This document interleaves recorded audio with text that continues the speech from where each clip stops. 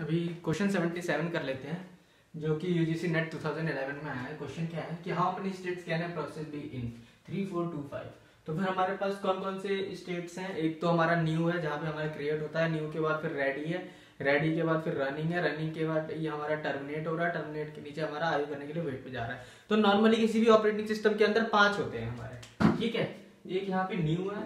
New के बाद ये रेडी है। ये न्यू यहाँ पे क्रिएट हुआ, ये यहाँ पे रेडी के अंदर जाके बैठा है। ये रनिंग हुआ, ठीक है? और ये यहाँ पे टर्मिनेट हो गया, ठीक है? नीचे यहाँ पे आयु करने के लिए यहाँ पे वेट हुआ या फिर ब्लॉक हुआ, ठीक है? ये हमारे पाँच नॉर्मली किसी भी होते हैं, जो सस्पेंड रेडी और सस्पेंड वेट है वो किसी किसी ऑपरेटिंग सिस्टम में होता है, ठीक है? तो नॉर्मली फाइव होते हैं हमारे किसी भी ऑपरेटिंग सिस्टम में। तो so how many states can है प्रोसेस बी इन एक प्रोसेस कितने स्टेट्स किसी किसी स्टेट्स के अंदर हो सकते हैं, ठीक है?